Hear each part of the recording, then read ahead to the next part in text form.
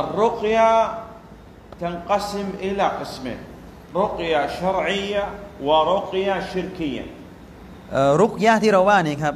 มันจะถูกแบ่งออกเป็นสองประเภทหนึ่งนี่เขาเรียกว่ารุกยะชรอียะก็คือรุกยะที่ทำได้ตามบัญญัติศาสนาสองรุกยะที่เป็นชิริก نعم كم يمكن؟ فالرقية الشرعية لابد فيها من شروط ثلاثة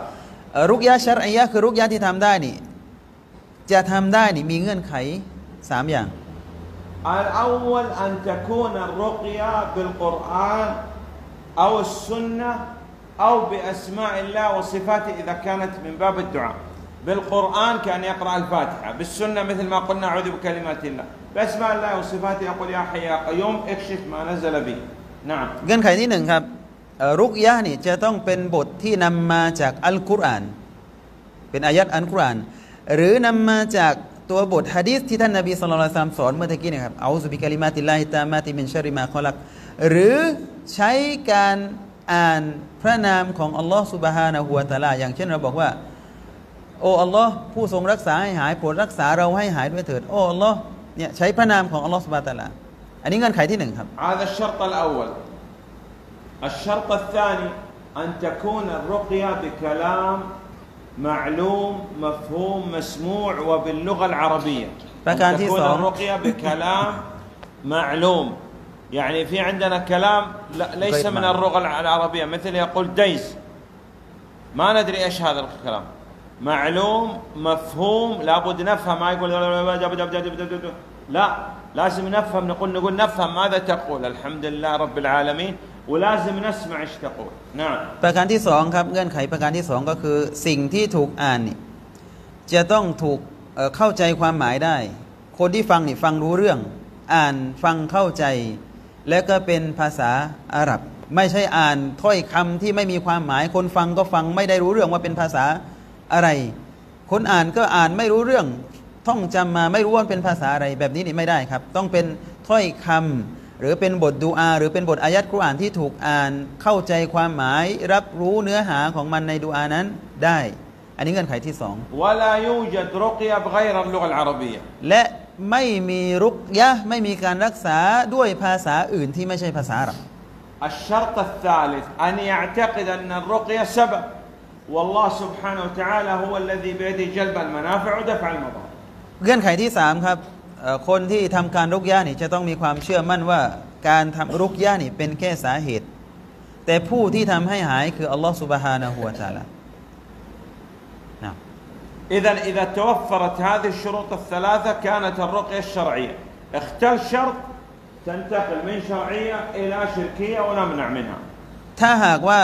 เอ่อการทำรุกยะห์ที่เราทำเนี่ยครับครบทั้งสามเงื่อนไขนี่ก็จะถูกเรียกว่าเป็นรุกยะห์ ชรอียะห์เป็นการรุกยะห์ที่ถูกต้องตามบทบัญญัติศาสนา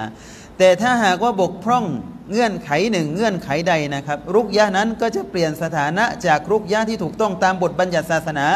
กลายไปเป็นรุกยะห์ที่เป็นการภาคีต่อ Allah سبحانه และ تعالى เป็นรุกยะห์ชิรกียะห์ نعم ทันที فإذا الإنسان مثلا جاء به مرض أو بأولاده يقرأ الفاتحة الفاتحة رقية ดังนั้นถ้ามีใครพาคนไม่สบายมา พาเด็กพาลูกหลานที่ไม่สบายมา ก็ให้เขาอ่านสุรฟาติยาเพราะสุรฟาติยาเนี่ยเป็นรุกยาไม่จำเป็นว่าเราจะต้องไปหาคนอื่นให้อ่าน อ่านรุกยาให้เรา ถ้าเราอ่านได้ลูกของเราอ่านครับอ่านเองอ่านให้ตัวเราเอง อ่านให้ลูกหลานของเราด้วยตัวเราเองครับ ไม่ต้องไปหาคนอื่นให้อ่านให้ ไม่ต้อง อ่านเองเลย الصحابة السلف الصالح ما كانوا يذهبوا للرقاة لا يمكن عند لم يكن عندهم ไม่ رقاة มีรายงานถ่ายโทษยืนยันว่าซวาบ้าเวลาลูกเขาป่วยหลานเขาป่วยตัวเขาป่วยนี่เขาไปหาหมอให้อ่านรุกยะห์ให้ ไม่เขาทำยังไงครับ كل واحد อ่าน يقرأ เอง على نفسه อ่านให้ตัวเอง อ่านให้ลูกตัวเองให้ภรรยาตัวเอง نعم ครับ كيفية يعني يقرأ مباشرة يقرأ مباشرة وعلى جسد على جسد يقرأ وينفذ อ๋อ น่ะ ให้อ่านครับ อ่านแล้วก็เป่าลง في عند في العلم يعني في مكان في الألم مكان الألم مثلا ถ้า نعم เจ็บตรงไหนเนี่ยครับ อ่านฟาติฮะห์แล้วก็เป่า เป่าแบบพ่นน้ำลายนะ แต่น้ำลายไม่ต้องออก ไม่ใช่เป่าแบบแบบนี้เป่าแบบพ่น نعم وفي الماء الله أعلم في الماء لا يمكن الله أعلم อันนี้อ่านอ่านแบบนี้เลยครับ อ่านบนจุดที่เจ็บ หรืออ่านธรรมดาแล้วก็เป่าลงบนจุดที่เอ่อเจ็บไข้ได้ป่วย نعم غيره وفي حديث شيخ في كيف آه، نضع في مكان الألم ونقرأ نعم بسم الله هذا بسم الله هذا هذا ورد في السنة مثل ما ورد في السنة نعم แล้วก็เหมือนกัน يقول ครับ بسم วิธี الله การ نعم วิธีการปฏิบัติเอ่อการรักษาด้วยวิธีที่มาจากสุนนะของท่านนบีสุลต่านสลัมที่เชคบอกก็คือ จับจุดที่เจ็บแล้วก็บิสมิลลาห์บิสมิลลาห์บิสมิลลาห์อาซุบี อิซติลลาฮิวะกุดรติฮิมินชริมาอจิดวะอูฮาซิรเจ็ดครั้ง